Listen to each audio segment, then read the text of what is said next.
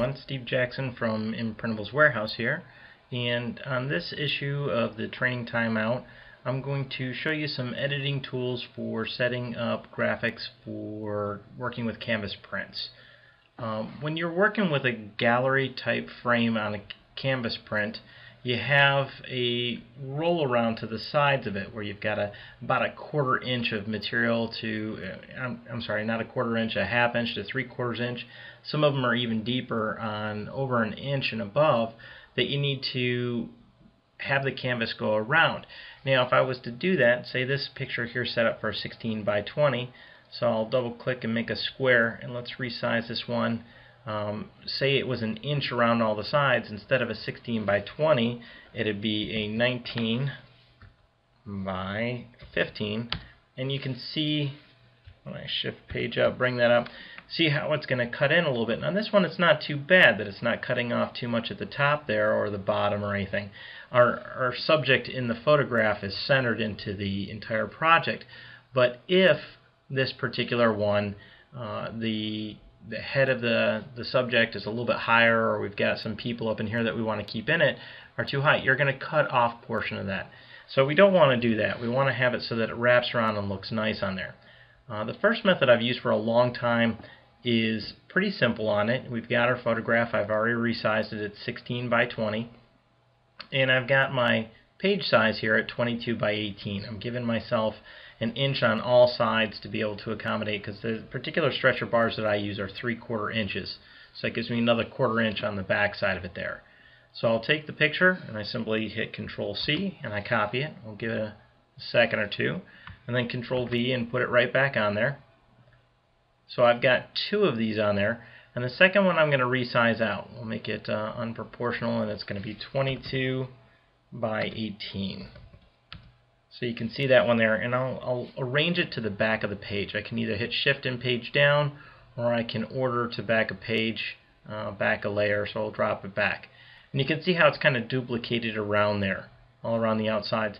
And that kind of has a not so pleasing effect. It almost a little bit of vertigo kind of looking at it because it, it chops off there. So what I do with this one is I'll take that second bitmap and I'm going to put some blur onto it. Uh, I like the Gaussian blur and I'll click on that one. And you can pick any type of value. Anywhere above 40 seems to work pretty well for me so I'll hit 43 and hit OK and you can see how it's going to create a bit of blur around the edges to where it kind of matches in somewhat with the, photograph there. So I could uh, again do a box that contains it on here. We'll give that no outline so it's kind of hidden in the back. And we'll take in our picture and power clip it. I could take effects power clip place inside the container and, select, oh, uh, I've got a, the photograph needs to be behind it, behind that one. So I moved it down in layer. You can see on my object manager over here it was above the rectangle and now it's behind. So now I go effects, power clip and place it inside that container. You can see it gets clipped off and I've got a nice clean edge to work with when I'm wrapping around that gallery frame. So not a bad effect, fairly easy way to do it. Um, but there's another newer way that I've been playing around with lately, and I used it in my last VersaCAMM class, and it was uh, pretty successful, and everybody seemed to like it quite a bit. So we've got our photograph here, and I'm going to create a second page. And we'll take the image off of the first page, or Control C, and I'm going to take it to the second page and paste it on there. And once it shows up here, we're going to use our crop tools and take a section at a time of it. So I'll use my crop tool right here. And what I'm going to do is go from that node and down to the bottom to the edge here. And we'll change the width on this.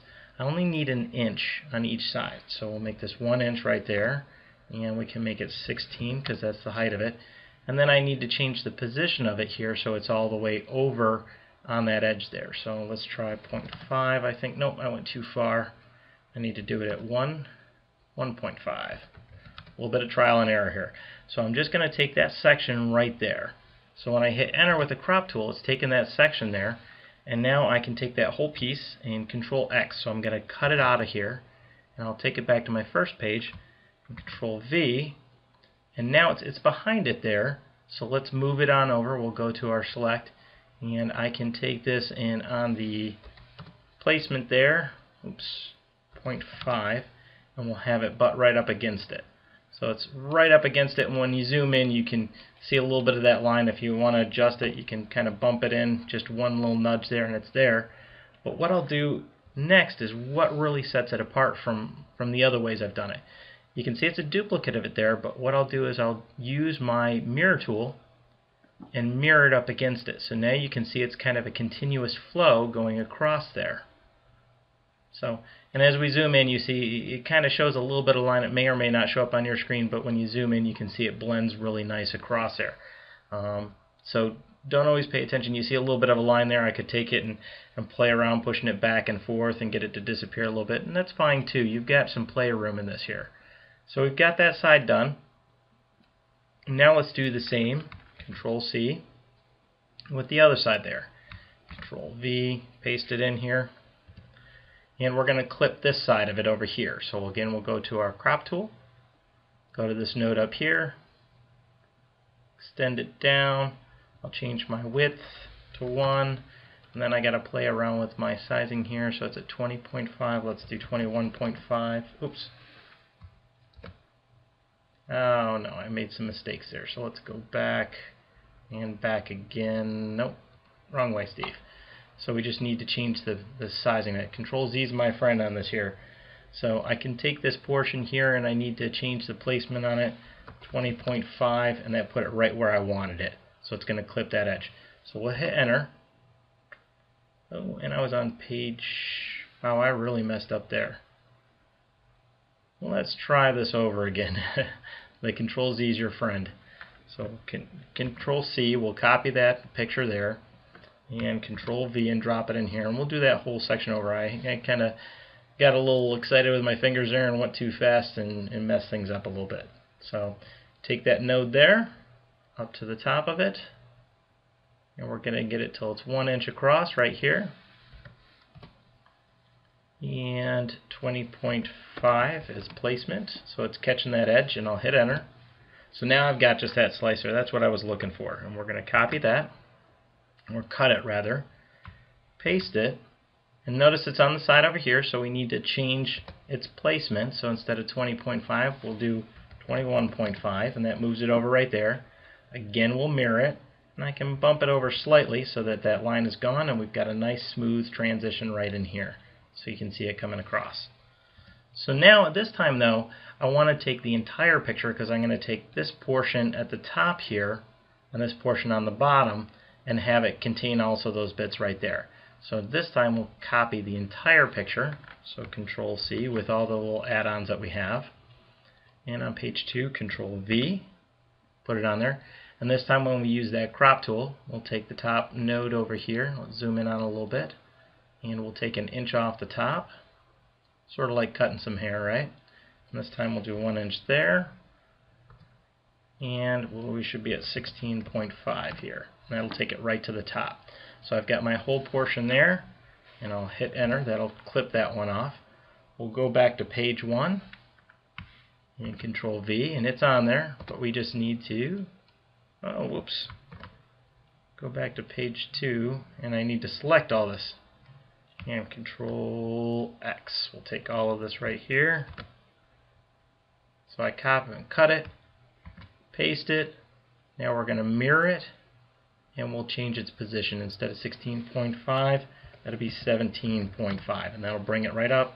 I can drop it just down a hair or two and we can see we've got a nice mirror across there going straight across. Once again, take everything on here, Control C to copy it over. Still copying, Control V. And once it's all in there, we'll use our crop tool again. Take from this bottom node here, bring it over, make it one inch. And 1.5 is my placement, so it's right along the bottom. Hit enter. And then go back to my pick tool, take all of this here, Control X to cut it out of there, bring it back to page 1, paste it on there with Control V, again do my mirror, and once we've got it mirrored there, I can change it down now to 0.5, and it's right where we want it. bring it up just a hair and I've got a beautiful picture here with everything blended real well on the edges so that when it's completely done you'll see it just kind of mirror back onto the edge of the canvas. So that's this week's training timeout. Uh, hopefully it's been useful for you out there if you're trying to work with canvas prints and going around the uh, gallery frames. And uh, we'll see you on the next training timeout. Thanks for stopping by. Thank you.